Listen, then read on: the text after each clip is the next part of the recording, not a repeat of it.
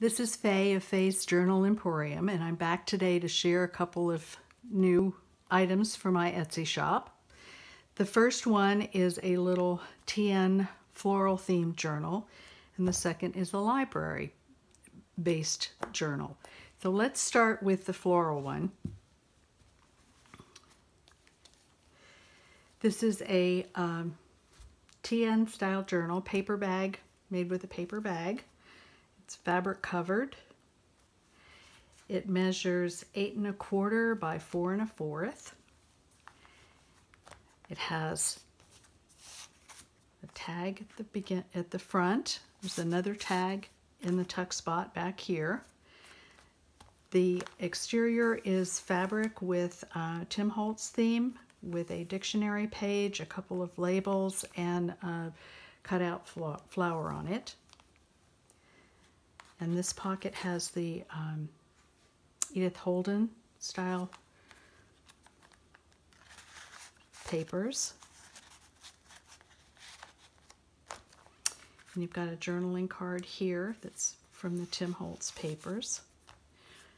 The uh, cover for the signature, which is 28 pages. It has 10 pages with um, a total of 28 pages to write on. There's another little pocket with another tag and journaling space. There are tea-dyed papers. Just a quick flip through. This is a vintage um, ledger paper. Some more tea-dyed paper. Uh, ledger. It's a fold-out. It's a journaling space. Washi tape. More washi tape. Another flip with that uh, vintage ledger paper. Some more tea-dyed paper. Another flip here with the cover, the back cover. And then it's got another pocket with a couple of journaling spaces. There's another large tag here that's made from the Tim Holtz paper with journaling space on the back. In your tuck spot. And then on the back, there is a, another little pocket with a couple of journaling spaces in it. So that is the floral themed TN. And it will be available in my Etsy shop later today.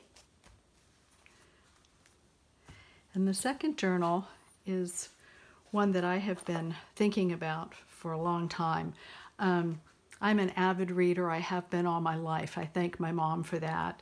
And I have wonderful memories of her reading me bedtime stories from the old Uncle Wiggily books.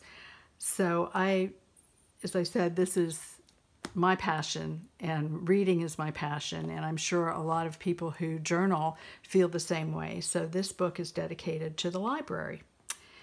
Um, she measures six inches by nine inches tall. It has a one and a half inch spine, which is covered with vintage lace. Uh, it's a fabric interior and, uh, and exterior on the book. This is a copy of a vintage photo, and she seemed to be the librarian type, so I thought that would be really great. Um, there's the library theme book plate on here. There's a little metal key, sari silk, little lock and there's a sari silk tie closure for it. When you open her up, she has a uh, fabric interior. This is a tuck spot made from a vellum, uh, vellum pocket actually, and it has a tuck spot. And this is a book plate that you can also journal on the back of.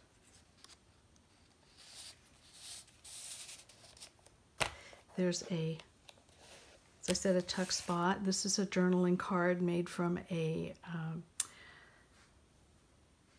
Jessie Willcox Smith. I love her photographs of children and draw illustrations and this is a great photo of a mom or illustration of a mom with a little person she's reading to. There's also a little charm here that I made. Um, if you can, can see that, I'm trying to get it in focus here. um, has a little library card and then a story charm. This is a Tim Holtz charm. It's made from a coin protector. And then you have a, a library themed um, bookplate. The covers are all, um, for each signature, are made from cardstock that I printed with um, vintage book pages um, from the Graphics Fairy, the title pages that I've kind of embellished along the way. And then the book is full of little uh, library cards from different libraries and tuck spots um, and definitions and sayings from different about books from different people. Um, I loved this one. This is uh, illustration of the Dewey Decimal System, and the quote is: "A library should show could a library could show you everything if you knew where to look," and that's Pat Conroy from my reading life, and I thought that was very appropriate to the Dewey Decimal System. Lots of journaling space, again, a definition. These pages um, that you see that are the digital downloads are from Victoria Designs. Great pages. Um, I have a lot of vintage pages in these books too. Um, this one is a uh, from a grammar book, um, vintage lessons, and the paper is actually made a lot of cotton, and you can feel that in the, when you when you touch it. It's really beautiful, and it was uh, made published in 1849. Tea stained pages. This is from a encyclopedia. I've added some fabric. Another quote. Another pocket here with a tag that you can journal on the back. This is from a vintage book that was very, very old and foxed and very fragile. Um, and then these little library tickets also come from um, Vector, Victoria, excuse me, Victoria Designs. You can see the back of the page. This is a vintage ledger paper and I added this stamp and embellished it with um, the glossy accents. I don't know if you can can see that. See the glasses there. And then the quote, this is one of my favorite quotes about books. When you are making sure you are on the same page with someone, also be sure that you are in the same book and that all parties know how to read. more tuck spots and library cards. And the uh, backs of the uh, pages, the digital pages, I used the um, Taylor Made Journals, um, her tea dyed, coffee dyed pages. This is from a Shakespeare book uh, from the early 1900s, the New Hudson Shakespeare. Page from a uh, book on butterflies with another tuck spot and a library card in here. Centerfold. Other side of that. This is another Jessie Willcox Smith illustration, and these are the uh, journaling cards. I use those as tuck spots again from the uh, Victoria Designs. the other side of that Shakespeare book. And then this is um, from a book that I purchased um, about uh, bookmaking, actually, and this was the cover uh, from that, the inside cover. And then these are postcards, um, copies of postcards. This is the Public Library and Park at Port, Rich, Port Richmond, Staten Island, and these were from uh, downloaded from the um, New York Public Library site. That's copyright free. Book from a, uh, I think this is German. And then a card catalog paid uh, card, and another book uh, postcard This one is from the Carnegie Library, Port Richmond, Staten Island. Little eyeglasses. This is the other side of that um,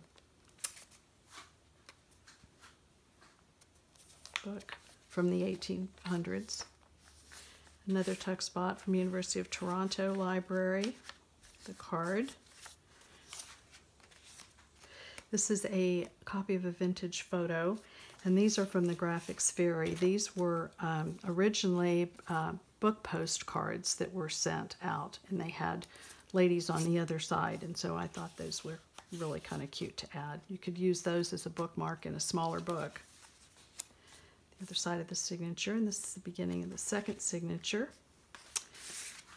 And the uh, has another postcard. This is the Boston Library, Public Library. Ticket. And then this one says, so many books, so little time. And this is one of the Tim Holtz paper dolls, and this is from Nik the Booksmith. And I just embellished this with some um, of the powder Another book page, library page. This has a tuck spot with a library card that you can journal on the back. Edith Holden page. This was on toadstools and mushrooms, and so I embellished this page with some mushrooms and some sari silk. This is a wonder.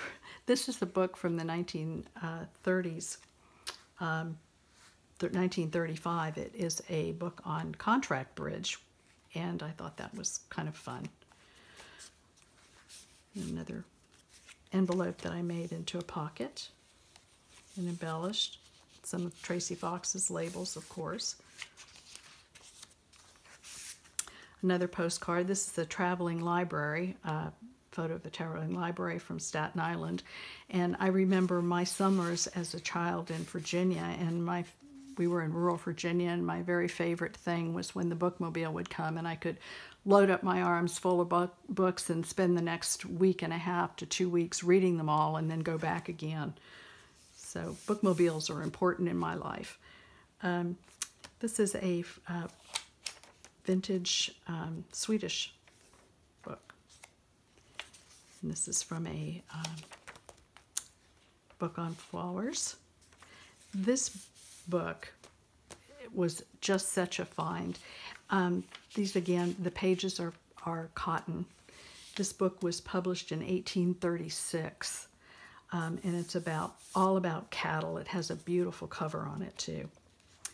And again, Edith, uh, excuse me, Jessie Willcox Smith illustration, and there's journaling space on the back of that. Centerpiece. Another tag that I made from book pages. This is the other side of that cattle page.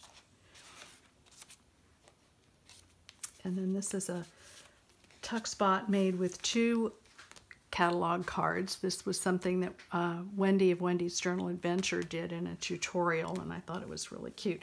So I tucked, there's two tuck, tuck spots. The center one in between the two cards holds this little photo again of a lady reading, and then the back part I just had tucked in this little ticket. And the sari silk, other side of the book page, the other side of the contract bridge. I added some mushrooms over here and Edith Holden page. Other side of the book page tea-dyed paper. And this is Nik the Booksmith and her Orm School Library with Edgar Allan Poe. She's quite a Poe fan. The other side of that. This one's the birds, and I added the little stamped bird there. And then this is the one that came from the book that I had, was from Lowell City Library. And it was The Art of Bookbinding. So I copied that and made a tuck spot. More journaling space on these. Another journaling library card and a little ticket. And then this is a um, Nik the Booksmith page from her collage pages. It's from a book on birds. library page. Again, another tuck spot with a catalog card. And this is a um, card that you can journal on from a um, stationery book and chart seller. A vintage copy of that. Some more ledger paper. This is a book from Encyclopedia um, Architecture in Great Britain. Dictionary page. It's from a book uh, called Patty's Butterfly Days from the uh, early 1900s and another illustration a little girl reading a book under a tree and a tag with a book page. This is a book page from a vintage stamp catalog from 1923 and I loved all the uh, staining and water staining and watermarks on it. Another library card tuck spot. This book, uh, this page came from a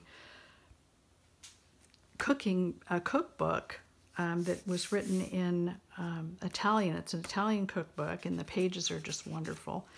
And the uh, an occasional they'll do the recipe in Italian, all written out in hand, and then they'll give it in English. Here's the other side of that, and an illustration from the book. And your stamp catalog, United States stamps. And another little tuck spot, Greenwood Library with the library card. On the other side of that, Patty's Butterfly Days. Dictionary page, fold out. This is a tuck spot from Book Week from 1930. And this is an illustration that's a Jessie Willcox Smith as well as this one. And then there's your journaling space.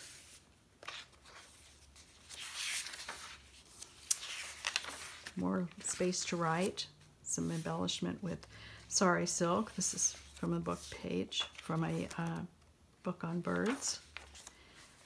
And then this is another tuck spot. And this has a journaling card, another Jessie Willcox Smith illustration, and another Public Library New York, America illustration a postcard.